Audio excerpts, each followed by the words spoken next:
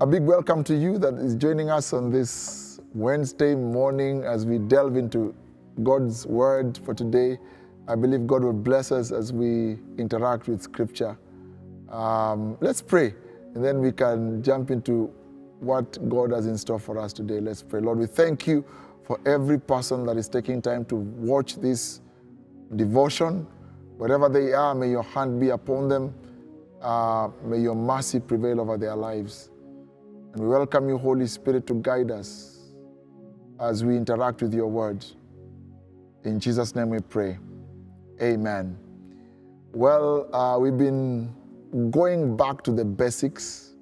Um, it's our theme for this year's Deliverance Church Umoja, but also in these devotions this week, we have been going back to the basics, but more specifically, the basics of prayer. Uh, we are drawing from Matthew 6 9 to 13. Uh, there, we, we believe Jesus was giving the disciples the basics of prayer, uh, the comp- basic components of prayer, saying these are the things that inform uh, prayer, true prayer. Uh, these are the things you should be aware of as you approach the place of prayer. And we say that that, that model of prayer is divided into two. The first part is verse 9 and 10. It talks about God's interests in the place of prayer.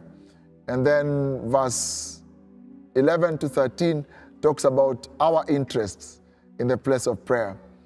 And we said prayer is not just a place of requisitioning things from God, it's a place of interaction with God.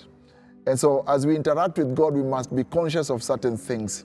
As we interact with God in the place of prayer and in any other area, we must be conscious of a few things. And Jesus was telling them, you must be conscious of these things. Number one, you must be conscious of the question of God's placement, God's and the question of priority, God's placement in your life. God has to be number one, no competition. Then, number two, we talked about it yesterday. We must resolve the question of God's presence in our lives. We must desire and value God's presence. We must, uh, you know, and, and I normally say prayer, prayer is not primarily for us to express our needs to God. Prayer is primarily for us to express our need for God's presence. And so, yesterday we said we must have a hunger and a thirst for God's presence, to be with Him, uh, to be more interested in the giver than the gifts, uh, more interested in the blesser than the blessings. Um, when that happens, and we saw that in Exodus 33 with the children of Israel, they said, Hey, we thank Lord, we appreciate the, the, the blessings you're promising us. But if these blessings are going to come without your presence, we don't want them.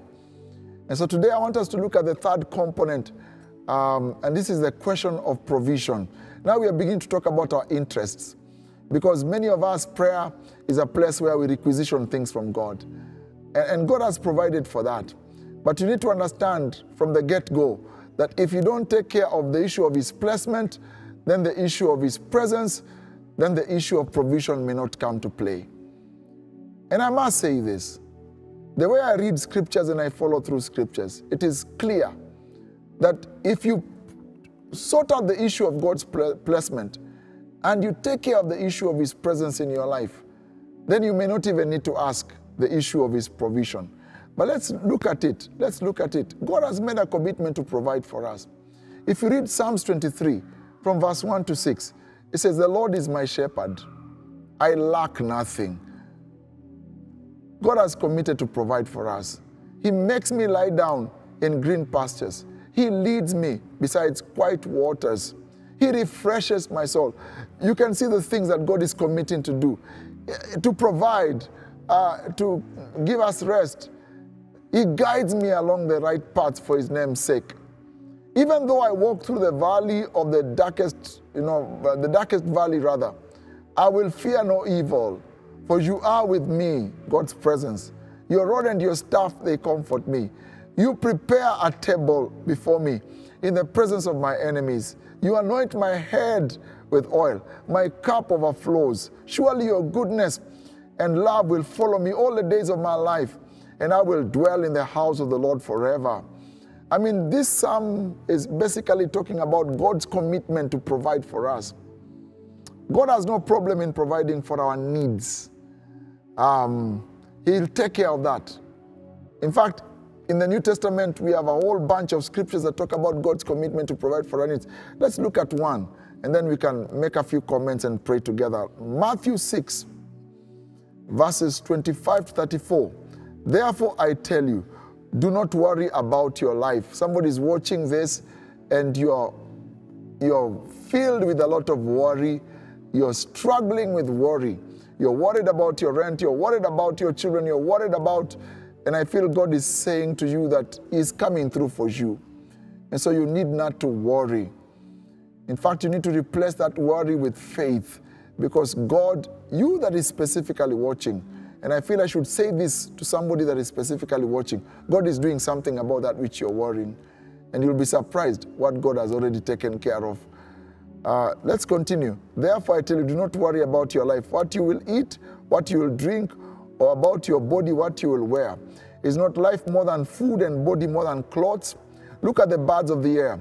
They do not sow or reap or store away in barns, yet your heavenly Father feeds them. Are you not of more value than they? Can one of you, by worrying, add a single hour to your life? And why do you worry about clothes? See how the flowers of the field grow? They do not labor or spin. Yet I tell you that not even Solomon in all his splendor was dressed like one of these.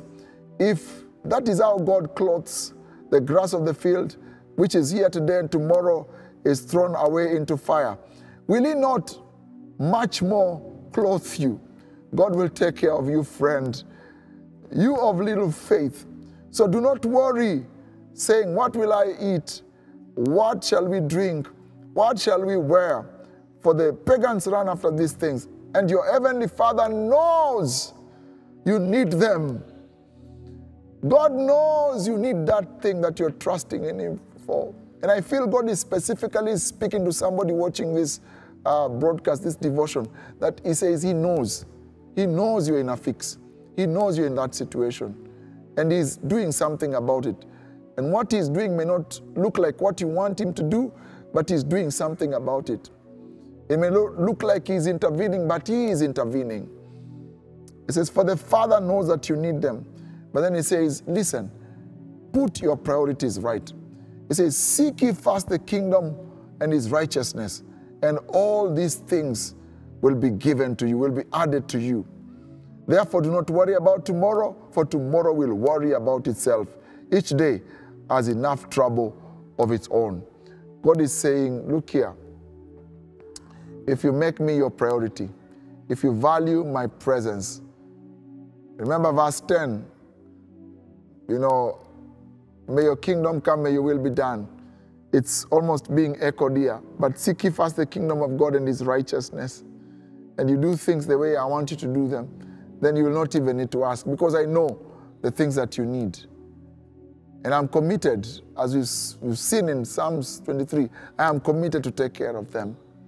In fact, if you get your act right, you'll not even need to ask for these things. They will be added to you. They will be added to you. See, the question of provision is allocated just one phrase in the Lord's Prayer. Just one phrase. Because if you posture in a certain way, you will not even need to ask. They'll be given to you. That's why it's been allocated just one phrase. But the unfortunate situation in my life and in the life of many people is that we allocate a lot of time in our interaction with God. We allocate a lot of time asking Him things, asking Him things. Yet when He taught us how to pray, He allocated very little time, just one phrase on asking for things. He says, because if you live in a certain way, you will not even need to make that prayer. God will provide for you. See, God has committed to provide for our needs. I must say that again, and not our wants and our fantasies and our luxuries. See, over and above our needs, there's a place for over and above our needs in the scripture. And the place for over and above our needs uh, is a place, it, and it's, it, it depends on a couple of things. It depends on one, something called prudence. Prudence is how we manage, how we handle things, how we manage what God has already given us with wisdom. And, and Luke chapter 16, verses 10 to 11, talks to us about the question of prudence. It says, He who is faithful with what is least is faithful also in much, or shall be given much. He who is um, unjust in the least will be unjust in much. Therefore, if you have not been faithful with the unrighteous mammon, who will give you true riches? It says, For you to access over and above your needs, then you must learn to be faithful with what God gives you. You must learn to be faithful by tithing, faithful by you know using what God has given you in a wise way, and not misusing it. And then God can trust you with much more. Okay, by helping others, you must be faithful with the little you have, then you will receive more. And also, the question of more than uh, your needs, uh, getting much more than just your needs, is a question of purpose. Okay? Deuteronomy 8:18, it tells us, Deuteronomy 8:18, and you shall remember the Lord your God, for it is He who gives you the power to make wealth, that, that He may establish His covenant, His purposes, which is so to your fathers uh, as it is in, in this day. It says, God gives you the power to make wealth for the sake of taking care of His covenant. There's a purpose. Um, if you understand God's purpose, if you align yourself with God's purpose, then God will bring provision your way. God will bring provision, and sometimes He can bring much more. The reason why He blessed Abraham is that Abraham may be a blessing to the nations. There's a purpose, and if you align yourself it says in Isaiah 119, if you are willing and obedient, you will eat the good of the land. It's a question of alignment. So, my question to you as we end this broadcast is Are there areas you must realign in your life? Are you overly obsessed by your worry? How will you replace worry with faith? How will you begin to replace uh, worry with alignment? so that you know if I'm aligned, God will take care of me. How can you do that? Go and think about it. That's my challenge to you. The question of provision is a question of alignment, is a question of posture. If you posture in such a way that God is number one, if you posture in such, such a way that you value God's presence, then provision will come your way. Lord, we thank you for those that have watched. There are some of them who are in dire need. I pray, come through for them. Make a way. Turn situations around. And may you prove to them that you are committed to provide for them. And I pray that they will not just be provided for, but you'll begin to cause them to move towards the place of much more than enough, the place of purpose, the place of abundance. But oh God, I pray, help them one day at a time to look up to you and to trust you. This we pray in Jesus' name. You're there and you've not given your life to Jesus Christ. This is your opportunity. Say this prayer after me. Say, Lord Jesus, I welcome you into my heart to be my Lord and Savior. Wash away my sins and write my name in the book of life. If you have said that prayer, I'll invite you uh, to get in touch with us. And we will, we will, we will follow you up and help you.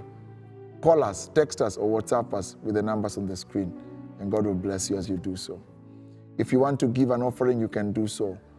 Um, the details are coming up on the screen. You can use PayBill 991648, account online, account online, and God will bless you as you do so. Have a wonderful day. May God meet you at the point of your need. Amen.